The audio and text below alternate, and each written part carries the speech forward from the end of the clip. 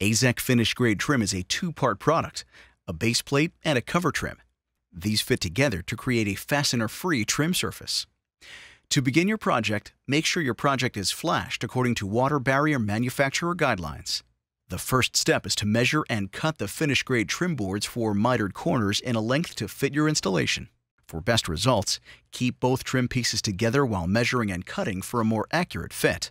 For easier installation, the first and last pieces installed should be the shortest sections. To begin, install the base plate.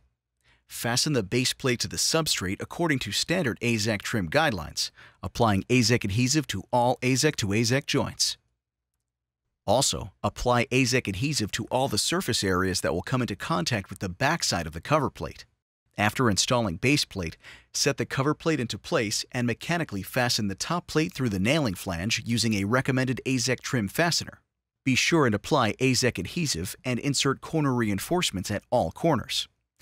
Working from the top down, tack covers at top to allow play at bottom for installing the last piece.